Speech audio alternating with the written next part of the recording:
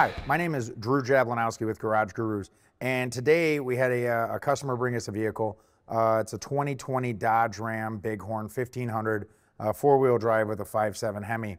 Um, they've had it at a, a shop already uh, for a high-speed uh, vibration and a noise over bumps. Uh, I think around 40 miles per hour. They said thought this would be a, a great tech tip um, because it's not a super common issue. So at least that I've seen. Um, so if you have seen it, you know, feel free to, to leave some some comments uh, below. You know, we already assumed, and it, it is an assumption that the person uh, who worked on it before did a great job balancing the tires um, and you know shook it down. So we went ahead, checked the balance anyways, uh, as we should, and the balance turned out uh, fine. Um, and we shook it down, and we didn't see anything. So we're like, all right, uh, this is a little interesting. So you know, we lifted it up. We took a little bit of a, a deeper dive underneath, and there were some, uh, you know, high-level indicators for me that we had something going on. Um, and basically, you could see it right here is this rust on on uh, the subframe um, over here. Uh, you can see there's some rust coming down um, on the differential as well as some rust on the subframe. So everybody in the south, you're like, what the heck is all that rust talk? Uh, well, here in Michigan, where we're recording this, you know, we have all the salt on the roads in the wintertime that salt can get into you know small crevices and cracks um, and then it can just it turns into rust. It eats away at the metal right?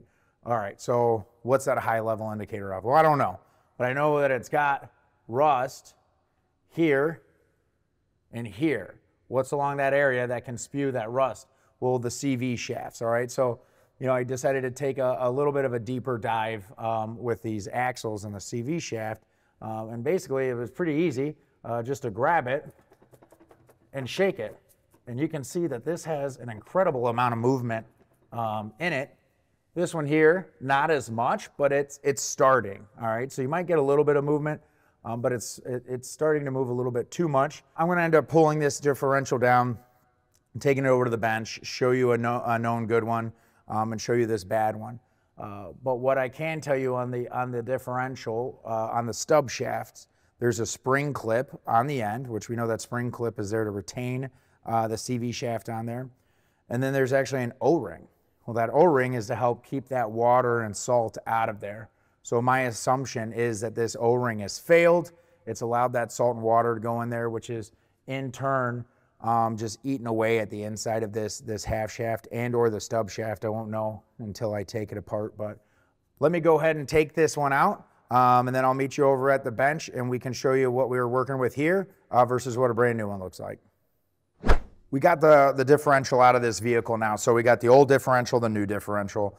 Um, you know, you can see the difference here with it's got the motor mount still attached to it. Really easy job, believe it or not, uh, to get this out. Probably took about two hours uh, to get it out. The only thing I would do is loosen this bolt up a little bit more just for ease of getting it in. But, you know, this stays on here uh, don't fight with it. I read the directions, believe it or not, and it, it, it did pay uh, to read the directions. A couple of things that we wanted to call out here. I wanted to show you um, the the 4x4 actuator. I took that off, and the only reason I took that off is I couldn't get to couldn't get to the connector to, to get it off. It was covered in, in, in dirt and grime, so I, it was easier just to pull the four bolts, pull it off. I had the fluid drained. I still took a little bit of a bath in, in rear end dope, or in this case, front differential dope. Uh, so the smell is the smell is is real in here right now. What I wanted to call out the main the main points are the difference in these stub shafts that you can see. All right, so on the new one, um, you can see there's a nice pronounced O-ring here, and you can see the the spring retention clip. On the old one, the, the O-ring is is fairly worn away, if not just completely uh, degraded. And then the spring clip, there's, there's no retain, retainment here. You can see this, this O-ring has failed. It's worn out. It's three years old, 90,000 miles on it.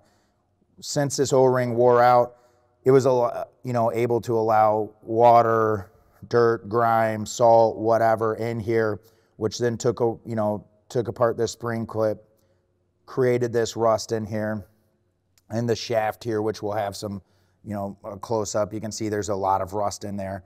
Uh, some additional rust jacking, which is, you know, going to help push that shaft off a little bit.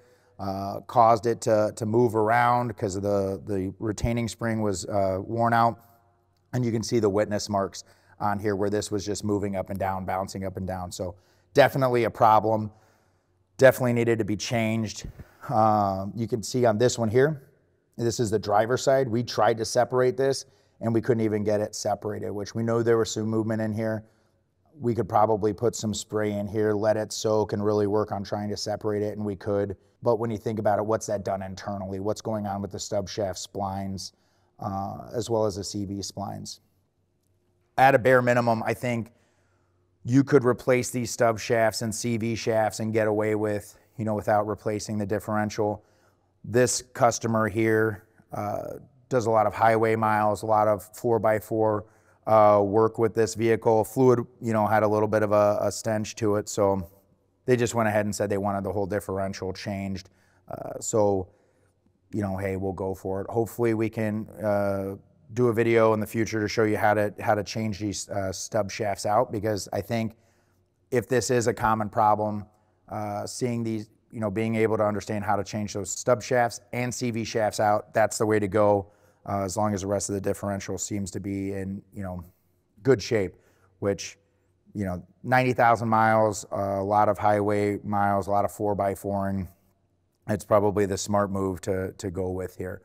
Uh, we're going to go ahead and put this one in, uh, put new CV axles on it as well, take it for a test drive, confirm that the, uh, the vibration's gone, and send it to the customer. My name's Drew Jablonowski with Garage Gurus. Uh, for more videos like this, you know, follow us on our YouTube channel, or you can check us out at our website at garagegurus.tech. We'll see you next time.